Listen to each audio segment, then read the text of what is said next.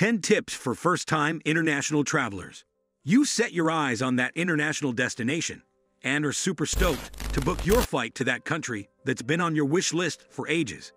Well, international travel can be stressful, even for a seasoned globetrotter. But for a first timer, it can feel outright overwhelming. First, there's all the pre preparation, like obtaining a passport if you don't already have one, applying for visas, planning out where you'll stay and how to get from point A to B. And then, after a long flight, you have to orient yourself in a foreign country where the time zone, language, and the currency may be different from what you're used to. Not to mention any surprises that are likely to pop up along the way. But the beauty in travel lies in the fact that you don't need to know everything. It's a learning process. As long as you're equipped with some basic knowledge to cover the most important aspects of first international travel, you'll have room to grow and learn and build some confidence for your next trip abroad. In this video, I will tell you the top 10 tips for first-time international travelers. So like and subscribe to the channel so you won't miss any of our uploads. And of course, today's video is brought to you by Tripidabido.com, the premier platform for booking tours and activities in this city, and is the proud sponsor of this video. Interested in traveling, click the link in the description below. 1. Choosing the destination. Perhaps you've been dreaming for a long time about seeing elephants in Thailand or visiting the koalas in Australia. Maybe you don't know where exactly, but you just know you need to go. If you're overwhelmed by all the incredible places you can see now that you have a passport, then it may be hard to choose which destination to visit on your first international trip. 2. Check your documents.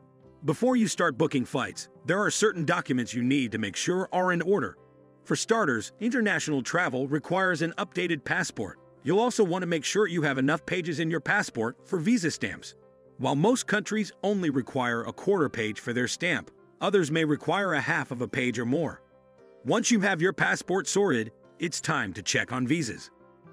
Many countries will offer U.S. passport or visa holders a tourist visa on arrival. However, other destinations, like Australia or Vietnam, require you to apply ahead of time and often charge a fee. Make sure you check the visa requirements for your final destination and take care of any paperwork. Give yourself a long booking runway. It's important to book international travel at least a month ahead of time to get the best ticket prices. Start looking for flights as soon as you have an idea of when you want to travel. You can use apps to keep track of flight deals for your desired destination. Make sure you're taking advantage of mileage loyalty programs and travel rewards cards to get the most out of your flight. 4. Compare transport and stay before booking. Most international trips are going to require you to fly there, but for getting around your destination, consider other options such as buses or trains. Most international destinations have really good metro and bus system. I can be intimidating on the first day, but a little help from their representative and you are good to go and save a lot of money than the cabs. Rome to Rio is a great tool for seeking all the route options from point A to point B and figuring out which mode of transportation will be quickest and cheapest.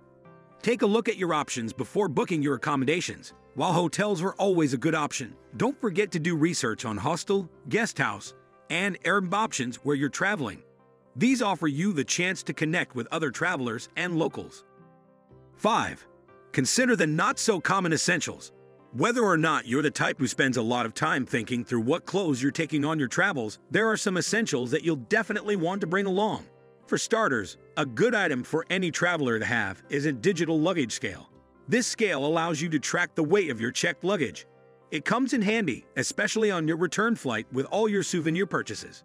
You'll also want to pick up a universal power adapter. That's it for today. We hope you found our video interesting. If you did, please give it a big thumbs up and share it with others. Also, if you haven't already, please consider subscribing to our channel. Don't forget to turn on the notification bell so you don't miss any of our new uploads. In the end, thanks for watching and see you next time.